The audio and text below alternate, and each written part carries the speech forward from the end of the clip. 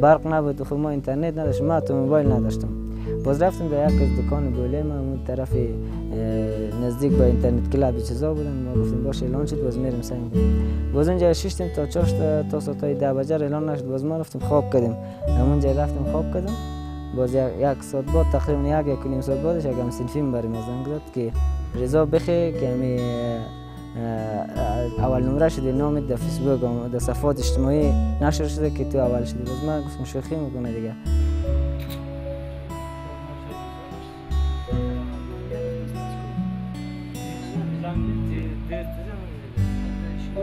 ولی می میخوایم در آینده یک جراح شوم بعضی کسا هستن مثل اه، جراحی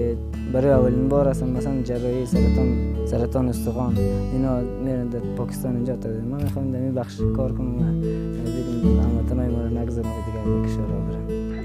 According to a report released by an NGO group this March, more than 400,000 Afghan children were expected to stop attending school this year. In this week, just after Reza's exam result published, there were several violence events happened in Kabul, Herat, Paktia, and Kandahar, which caused over 100 casualties. Reza's story was rewarded and respected in this war country as the most powerful response to these violence events.